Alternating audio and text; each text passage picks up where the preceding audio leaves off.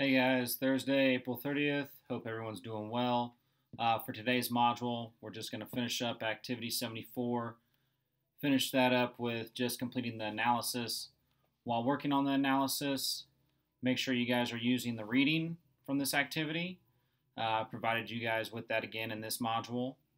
Also, while working, if you guys have any questions, make sure you reach out to me and I will get back with you as quick as I can. Um, also, Make sure you guys are checking up on PowerSchool, keeping up with assignments and graded work.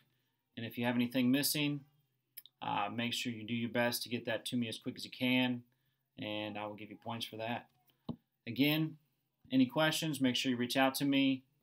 Um, all you're doing is the analysis, and again, that's it. Have a good one.